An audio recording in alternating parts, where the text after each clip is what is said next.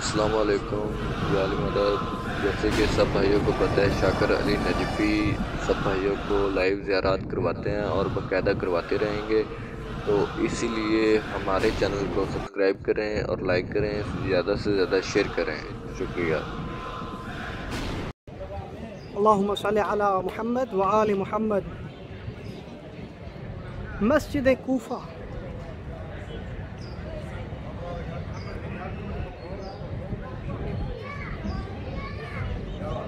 मस्जिद कोफा पर वो दरवाज़ा जिसे बाब सोबान के नाम से पहचाना जाता है।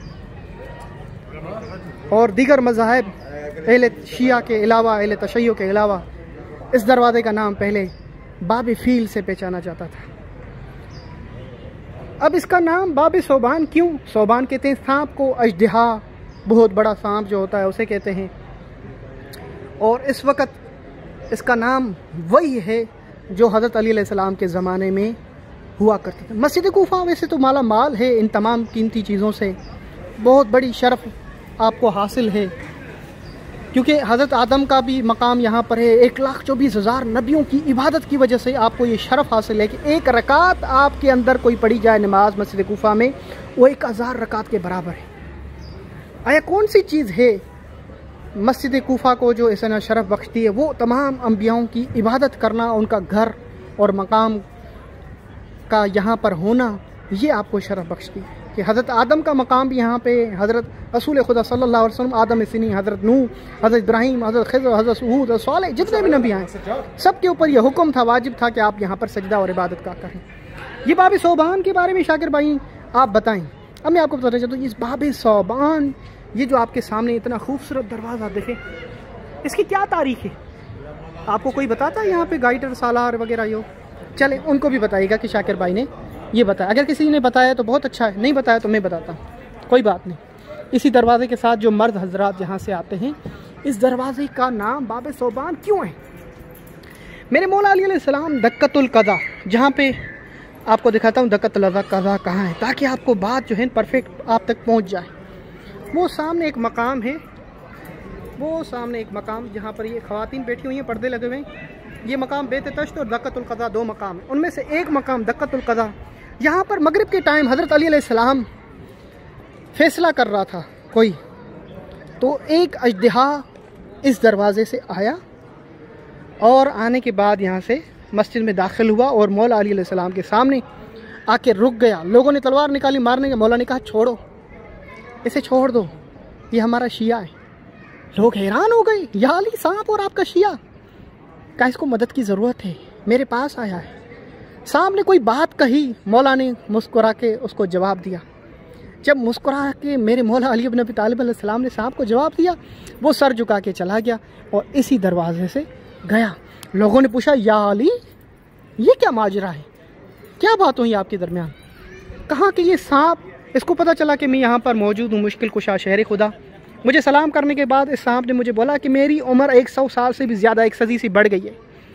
अब मेरे दांत टूट गए हैं। मेरे दांत अभी जो हैं, टूट चुके हैं तो मैं कैसे खाऊं? खाना कैसे खाऊं? जब हज़रत सलाम को ये अपनी मुश्किल बताई तो मेरे मौला ने कहा, फला फला फला चीज़ें तुम खाओगे। तुम्हारे दांतों को कोई असर नहीं पड़ेगा, ना तेरे जिसम और तेरा जो है बदन बदन भी जो है और तेरा पेट भर जाएगा। मौला ने उसकी मुश्किल कुशाई की, मौला को सलाम करके यहाँ से चले गए। यानी मौला मुश्किल कुशा ने उस वक़्त ये मिम्बर पे, सलूनी के एक शानदार जुमला आपने फरमाया था कि, ए मोमिनो, ए मुसलमानों, सुनो, मैं अली सिर्फ़ तुम इंसानों का इमाम नहीं, मैं हैवान और खुदा की तमाम मखलूक है, सबका इमाम और मुश्किल कुशा हूँ। तो उसी मुश्किल कुशा ने जो सांप की, जिसने मदद की थी, जिसकी वजह से इस दरवाजे का नाम बाब सोबान कहते हैं, यानी बाब अजदहा, यानी सांप। अल्लाह अकबर। मगर मगर मगर मगर मगर मगर, मौला का जो ये फ़जाइल बढ़ने लगा एक खलीफा को। उसके बाद मौला के बाद एक खलीफा था खुदा, हिदायत घरत करे उसको, उसकी औलाद जो किए उसका नाम माविया था माविया था। उस माविया ने जो मौला अली को फ़जाइल को छुपाने के लिए इस दरवाजे का नाम बाब फील, यानी कहते काफ़ी अरसे तक इस दरवाजे पर हाथी बाँध ली थी। काफ़ी अरसे तक इस दरवाजे को हाथी बाँध ली थी ताकि लोग मौला सलाम का जो फ़जाइल अजदहार है उसको छुपाएँ। मगर उस मावे और उसके मानने वाले को ये कहेंगे, देख, तूने मेरे मौला का दरवाज़ा छुपाना चाहा बाब फील के नाम से करना चाहा, मगर आज भी जो मौला के चाहने वाले या जो भी मुसलमान हो, इस दरवाजे को बाब फील से नहीं बाब सोबान से बताते हैं। और उनके तमाम जितने भी चाहने वाले उनको भी दिखाएँ। ये दरवाज़ा बाब सोबान से है, ना कि बाब फील से है।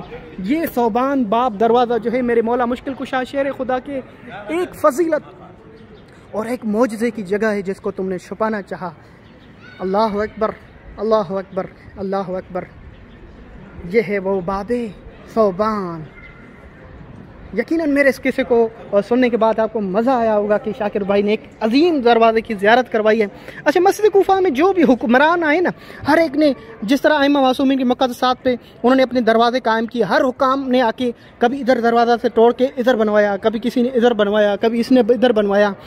तो इस तरह करते करते करते हर जगह पर, क्योंकि वो जब हाकिम आता था तो कहता था, मेरे नाम पर दरवाज़ा हो। तो अभी वो दरवाजे बाकी हैं जो होने चाहिए। उनमें से बाब फ़रज इमाम ज़माना से मनसूब है, जिसकी रवायत में मस्जिद कोफा में बाब फ़रज के फलाज, दीवार, मीनार जो है ज़ख्मी होगी तो इमाम ज़माना के आने की निशानी होगी। वो दीवार भी टूट टूट चुकी है। तकरीबन 2017 या 16 में हम इधर ही थे, उन्नीस रमज़ान की ज़रबत, वो मीनार के हैं, वो टूट चुके थे, उसकी भी आपको ज़्यारत कराऊँगा। मगर अभी नहीं, अगली वीडियो में। तो मैं आपके साथ शाकिर अली अब्बासी अगर मेरी इस दरवाज़े को आ, मेरी इस वीडियो को आपको चाहते हैं मज़ीद आपको मैं अच्छी अच्छी जो है मस्जिद कोफा और तमाम इराक के मकाम मुकदसात की ज्यारत कराऊँ इस वीडियो को शेयर करें। हक अदा करें जिस तरह मैं मेहनत करा के मेहनत करके एक एक चीज़ पे वीडियो बनाता हूँ आपको ज्यारत कराता हूँ। इसी तरह आप भी कोशिश कर मेरा साथ दें। मेरे लिए दुआ करें मौला मुझे घर दे दे वो मलाऊँ जो पैसे लेके गया भाग गया है। वो मिल जाए, ताकि मैं ज़ायरीन के लिए दरवाज़ा खोल सकूँ। ये बाब फ़र्ज़ है जो इमाम ज़माना से मनसूब है। सुबह अल्लाह तो कहीं इतनी खामोशी से क्यों देख रहे हैं? इतनी खामोशी से कोई देखता है? सुबह अल्लाह माशाल्लाह, मैं सदके जाऊँ मौला। मस्जिद कोफा माला माल है, अल्लाह अकबर। कहते हैं मस्जिद कोफा के एक दरवाज़े पर जनाब मुस्लिम ढकील का सर था। आज तक मुझे वो नहीं पता चल सका वो कौन सा दरवाज़ा था जिस पे मेरे मौला का बाबुल हवाइज मुस्लिम नकील के, कि जिस इस दरवाज़े पे जब वो सर आपका लटका हुआ था काफ़ी दिन के बाद जब असीरा ने करबला आई तो पाक सैदा का, पाक सैदा जैनब सलाम का जो है, आपके चेहरे के ऊपर नज़र पड़ी, मौला सज्जाद को देख के कहती है कि सज्जाद ये हम हाशमियों में से लगता है ये चेहरा, ये गरीब कौन है जिसका सर कटा हुआ है? मौला सज्जाद सलाम, रो कर कहते पुफी अम्मा, बेचानो, तुम्हारा भाई मुस्लिम नकील है। इन ालमों ने मुस्लिम नकील के साथ क्या जुल्म किया है? उसी वक़्त आपने सर पे मातम करना शुरू किया। हाय मेरे भाई, जनाब मुस्लिम, तुम पर लाखों दुरुद सलाम। उम कुलसूम को पुरसा दें जनाब मुस्लिम नकील का। अल्लाह अकबर अल्लाह अकबर। अल्लाह अकबर हाय मुस्लिम नकील आपकी गुर्बत हाय मुस्लिम नकील आपकी गुर्बत हाय मुस्लिम नकील आपकी गुर्बत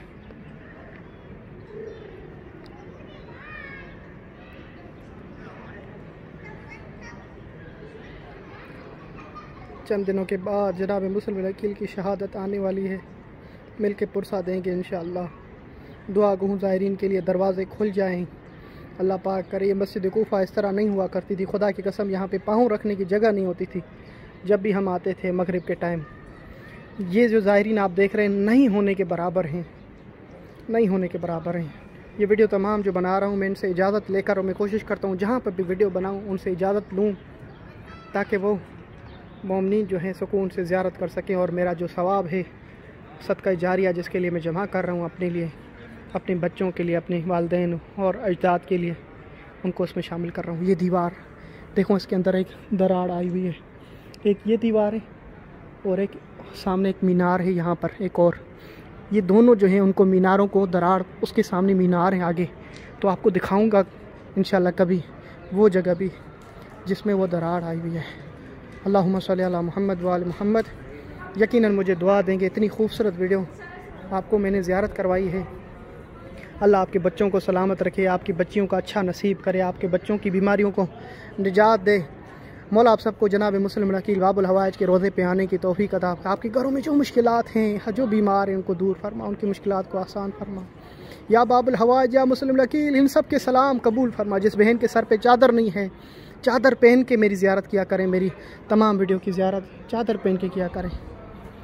मुझे यकीन, आप मुझे दुआओं में याद रखेंगे, मैं भी आपको दुआओं में याद मेरे अल्फाज में कोई कता हो, माफ़ कीजिएगा। मेरे लिए दुआ कीजिएगा। मुझे घर मिल जाए, मेरे बच्चे मेरे पास आ जाए। अल्लाह सल महमद वाल महमद